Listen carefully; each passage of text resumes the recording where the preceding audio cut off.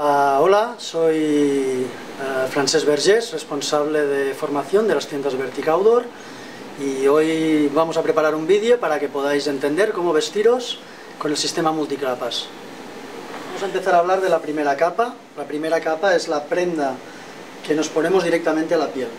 Estas prendas tienen la característica de ser elásticas, de pegarse perfectamente a la piel, tienen el comportamiento de que por capilaridad, por contacto con la piel, absorben la humedad que nosotros generamos, nuestro sudor, y lo convierten en, forma de vapor. Eso permite que nuestra piel siempre esté seca. De esta manera conseguimos tener confort y mantenernos secos.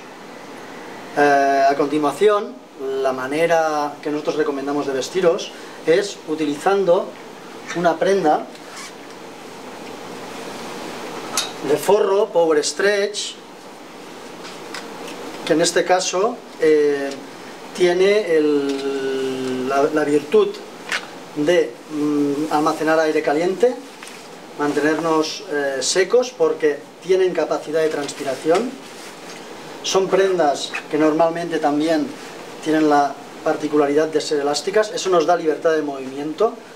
Son prendas eh, muy recomendables muy importantes estas dos primeras capas, porque aquí hay la clave de que eh, las próximas capas que vayamos utilizando eh, funcionen perfectamente. En condiciones de mucho frío, utilizaríamos sobre esta capa, que es una segunda capa, una segunda capa, o sea, sería una tercera, pero es una segunda capa. La, la particularidad de esta prenda que os vamos a ofrecer o mostrar es una prenda muy ligera, muy comprimible, y está hecha a base de fibras. Estas fibras eh, almacenan aire caliente, tienen mucho hinchado, retienen mucho aire caliente y lo que conseguimos es libertad de movimientos, son prendas que eh, pesan menos que un forro 200, que son más comprimibles y que sobre todo retienen muchísimo más aire caliente, por lo tanto son mucho más calientes. El hecho de que estén hechas con estos acabados textiles exteriores nos va a permitir eh, que cuando nos pongamos la tercera capa encima, una prenda y la otra pertinen perfectamente, que resbalen. Eso nos da libertad de movimiento y confort. La tercera capa. Todo el mundo piensa en las terceras capas como la gran prenda. Efectivamente es la gran prenda. Es una chaqueta que lleva una membrana. Esta membrana tiene la particularidad de darnos transpiración. Eso quiere decir que todo el vapor de agua que nosotros hemos conseguido sacar de nuestra piel podrá pasar a través de este tejido, que además es impermeable, que nos para el viento. Estas prendas normalmente están muy, muy diseñadas para hacer actividad, para trabajar con ellas. Eh, en este caso, bolsillos altos para poder poner un arnés en la parte baja,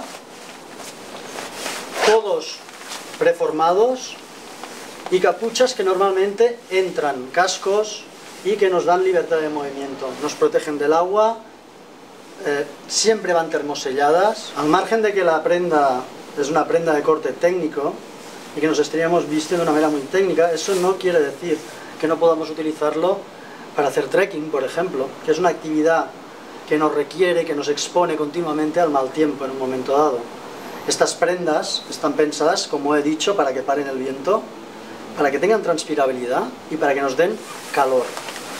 Eh, una parte importante eh, de este montaje, de esta manera de vestirnos, es que siempre nos, nos mantendrá secos, con lo cual, cuando dejemos de hacer actividad, podremos estar calientes. Siempre sudamos para refrigerarnos. Si eliminamos el sudor, nos mantenemos calientes. Una cosa importante, la cabeza.